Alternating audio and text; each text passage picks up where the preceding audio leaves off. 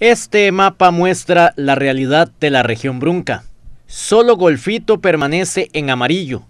Los demás cinco cantones están bajo una alerta naranja por COVID-19. Este martes, Corredores volvió a esta lista. De acuerdo con la Sala de Análisis de Situación Nacional de la Comisión Nacional de Emergencias, en ese cantón se incrementó el nivel de riesgo.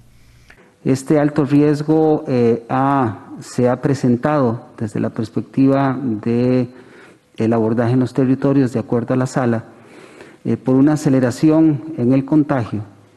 Por lo tanto, una vez más el llamado al principio del autocuidado que todos y todas debemos tener y que debe ser muchísimo más riguroso.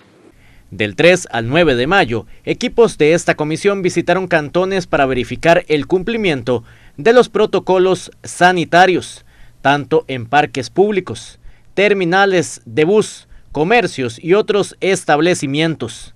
La Comisión Nacional de Emergencias identificó que hay un 81% de personas que utilizan la mascarilla, 74% se desplazan en burbuja social.